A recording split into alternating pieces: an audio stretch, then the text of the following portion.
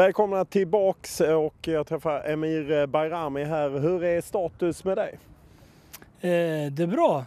Jag har fått eh, en ganska bra försäsong. Eh, tränat många pass, mer än jag gjort på många år. Eh, så det känns, det känns positivt. Om man ser till, det är ju en ryggskada som har plågat dig. Hur nära är du att vara kvitten? Ja, det, jag önskar jag kunde svara på den frågan.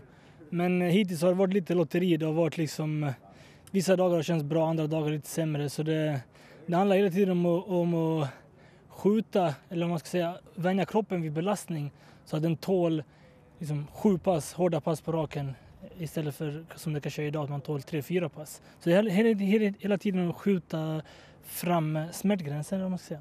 Kan du mer konkret säga, vad är det som gör ont? Ja, det är ju trasiga diskar, eh, muskulärt, eh, lite, lite så.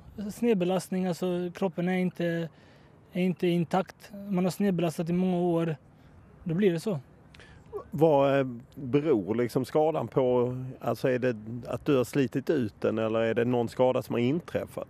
Nej, det handlar nog om, om, en eh, längre tids snedbelastning skulle man kunna säga. Eh, så diskarna har, fått, diskarna har slits. Eh, så det, det är väl så det, det har varit många år. När man kanske ibland ska vila så har man velat spela.